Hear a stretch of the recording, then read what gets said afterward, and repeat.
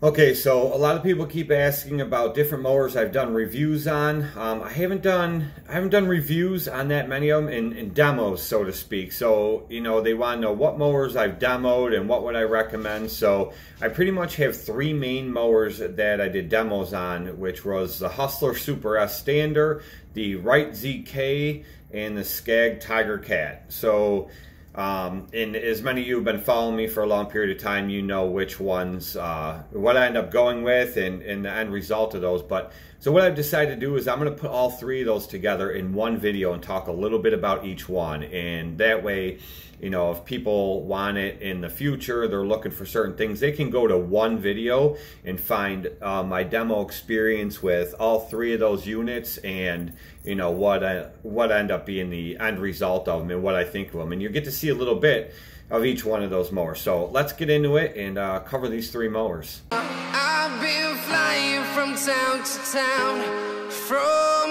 London to Taiwan. I've been all around trying to protect your soul. Okay, so here's the deal. I'm gonna try to cover this as best I can. So I left out a mower in the intro and uh, you'll see it covered here in a little bit. But this here is the Wright ZK61. And when I demoed this, I did not want a 61 inch mower. I ended up demoing it because that's all they had as far as the demo goes, uh, which Ryan ended up buying this mower later on. But um, I really liked riding it. It was a fun mower to ride. The controls were pretty nice and uh, it was just big. It was, it was a lot bigger than what I needed. You guys know that, you know, my ideal mower is a 52 or 56 in that range. But um, so it was definitely big, but the thing I didn't like about it is I didn't like the deck. It cut like shit. And I know, I know we've been over this a million times with these Wright decks and what people think, but whatever, it's my opinion. So it was a really fun mower to ride, but it cut like shit. You'll see this one I'm mowing here isn't even, it's not even that tall. I think it was like June, like mid-June or something when I demoed this mower. And um, I end up having to double cut this property. And it wasn't even that tall, it wasn't wet.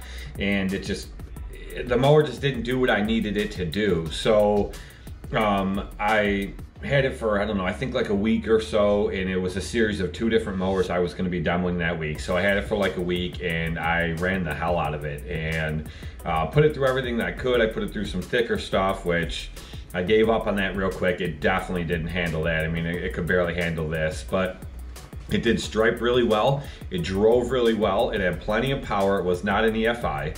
Um, I can't remember exactly what engine was on this, but it did have plenty of power. It was a really good running mower and it was really fast. And uh, like I said, the controls were nice. I like the platform. You know, Ryan mentioned if you watch in yesterday's video, he doesn't like the platform in the ZK, but he's a lot bigger than I am. I'm 204 pounds. He's he's 300 pounds or, or somewhere in that range. You know, he's he's a bigger boy than I am. So you know, I, I can see he's got six or 700 hours on that machine, so he's really worn them down. But it just wasn't for me. So the next mower I demoed that week was the Scag Tiger Cat, and as many of you know that have been following me, it's the mower I end up buying. So um, I really did like the Scag Tiger Cat. Uh, the, the main reason for going with the Scag Tiger Cat, and I know it's completely different end of the spectrum, so to speak, from a stander to a sit down, was I really needed something to bag, but I had seen the Pico bagging systems, I think they were called, that you could hang. They were like a, a clamshell off the back of standers. So um, I had that as an option if I were to buy that ZK. And so that's why I didn't mind looking at that versus, uh, you know, a sit down zero turn. But when it came down to it, I like the way that the Scag cut better. Um, a lot of people say they do not cut well in the Northeast. I didn't have any problem with it. It wasn't as good as a lot of other mowers that I've cut with in the Northeast, you know, up here in my area. But I, I really didn't have any problem with it. It, it mowed just fine. It cleaned up just fine, even in heavy, wet, thick stuff. Um, and I've owned a lot of Scags over the years and I never really had a problem with the way any of them cut. My big issue with Scag is hills. And I did end up finding that to be an issue with this Tiger Cat.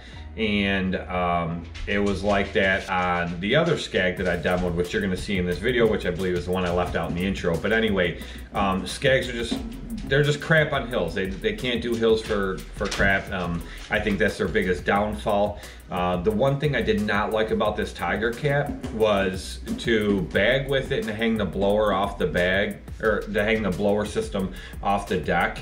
Uh, to take it off, it, it you couldn't just side discharge and cut because the mouth I believe was like 13 half 14 inches wide. And in order to bag you had to have these two baffles in it to bolt in one's in the front one's in the back. And it reduces the mouth down to like five and a half or six inches. And then you hang the blower on there. Well if you left either of those baffles out and hung the blower on there it would just blow grass out all around the blower system that hangs off the side for the bagger. So you couldn't leave those out. But if you pulled the blower off and you wanted to side discharge with those baffles in, it clumped up and blew crap out like crazy. So you had to unbolt them two baffles and take them out to open that mouth right back up. And then it would cut great. It would go through heavy, wet, thick stuff. Um, if I had the double cut a property, it would clean up just fine. But that's what you had to do. And it was a huge pain in the butt. So between that and between how it was sliding all over on hills, like it just wouldn't handle hills for crap, I ended up selling. I sold it to Ryan, and that's when uh, that's when I went to Walkers. But here we are on the other Scag that I demoed. This was the V-Ride 2, and this was just, I think last year I demoed this one. Um, I loved this mower. Love this mower. It was not the EFI. Again, none of these mowers were the EFIs, but um, it still seemed to have plenty of power in it. It cut great. It, you know, it, I it just become the time of the year. I like to demo the most in the spring. That's when we have our heavy, wet, thick growth. But in my area in the fall, it grows like crazy. Again, it's very wet, a very moist grass, and and plus you get the leaves on top of it. So I really like demoing mowers in the fall. Um, because I get a combination of both the heavy, wet, thick, tall growth plus the leaves on top of it. So I get to see everything this mower is gonna do. This thing cut great, it spread grass out great, it mulched like nobody's business, even with just stock blades on it. It mulched really, really well. And if you go back and watch the review video I did on this mower, you'll hear me talk about that. But I, I was genuinely impressed with it. The reason I did not buy this mower, again, was because it would not handle a hill. Um, Scag is known for making tall tires but thin tires in comparison to all the other mower manufacturers. They need to make a wider tire. It just, I don't understand. They've been told a million times over and I don't understand why they won't get this through their heads. That if you have a thin tire, it's not going to hold hills for shit. I don't care what the stance is on the mower. I don't care if you're standing in between the tires or if you have a platform behind them like on the Exmark and the Toros. Um, I don't understand what they don't get about it. If you have a thin tire, is not going to hold hills. It, it's just not. It's just the way it is. And the tread pattern they use, uh, or they were at the time using tread pattern on tires that weren't was not ideal. It wasn't the same as what everybody else is using on the market that holds a lot better. Um, and I've, I've been over that style tires in the past. But if it wasn't for that, I would have bought this mower. Um, I was offered a great deal on it, and as a matter of fact, this same mower I demoed is still sitting on the showroom floor of the dealer that I use that sells Scags. And he just he can't get rid of it. Nobody wants it. And he's like i think it has like 50 or 55 hours on it something like that because that's what i put on. I had nothing on it when i got it. And uh, i believe i was the only one to demo it or maybe one more person. But he's trying to dump this mower off for eight grand. And it's a really good deal for this mower but no one's buying it. And it's a huge thing with scag is you know they're just they're great mowers. They they cut great. They strike like there's nobody's business. It like no one's business. It's just you know they're they're really good mowers as far as all that goes. The controls were awesome. Excuse me. I love the platform in this mower. That was definitely definitely very, very comfortable. Um, I did, after uh, being on it all day, notice that my feet felt a little sore being on this thing. I, I don't know if it was because of my shoes or what the deal was, but it was really weird because the, the platform just did feel really, really comfortable to be on. Um, a lot of uh, absorption on bumps uh, as far as impact goes, but you know, it was a great mower. The controls were real responsive. They were real user friendly, um, just really easy to use. And like I said, the mower drove great, but it was it was the whole hill stability thing, which was a big, big uh, turn off for me. And I just couldn't go with this mower. But I did enjoy using it and I would recommend it if you're in an area that doesn't have a lot of hills. Um, or maybe since then, since this demo, um, back when I did it, I, maybe Scag has changed around their tires. I don't know, but I've heard that they're uh, they've gotten better with their machines handling hills. Um, that, that's about it's about all I can say for this mower. Um, like I said, that all these demos, uh, the full videos of them are back through my playlist and you can go, go in and find them all, but I was trying to consolidate them down to one. Um, but as far as standers go, I would recommend this to people that, you know, have smaller hills or, you know, aren't in an area where the grass is real wet all the time. I think maybe on drier um, turf, even on hills, it, it, might do all right, but it just, in my area, you guys know, the grass stays wet a lot and it's, uh, I have a lot of hills in my area that it, it just, it just couldn't handle. Um, but other than that, I would definitely recommend this mower. I definitely liked it better than the ZK, and it's definitely better than any Wright I've ever ridden. Um, so that brings us to the Hustler, the Hustler Super S. Now, the downfall about this is I didn't get to demo it in the ideal time of year. It's just uh, my dealer that sells Wright and sells Scag uh, had just picked up Hustler and asked me if I wanted to demo this mower. So it's just the time of year that it fell on.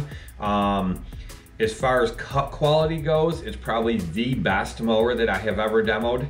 Um, and I mentioned it in the video uh, that I did on this, the final review video, and then I believe the other one or two videos I did just using it. Um, they did not over baffle the shit out of this deck, which so many manufacturers do nowadays, and decks that are not over baffled are ideal for my area. It's the best that you can get. Um, it's just all these decks that keep over baffling for the southern states and out west that they do phenomenal in those areas. Just do not cut where the crap in my areas. But as you see right here on this property, the grass is pretty burnt up, pretty brown. Um, and I mentioned when I made this video, normally I do not cut lawns that look like this. I'll skip over them. Um, but this is one of them customers that wants it cut every week, doesn't care, and they want the stripes in their lawn, which uh, this mower definitely had no problem putting stripes in the grass, uh, even with it brown and burn up like this. But uh, um, I did take it, I did have some properties that are heavily fertilized and it was real thick green lush grass that I cut with it and it just did phenomenal. It was just a great cutting mower.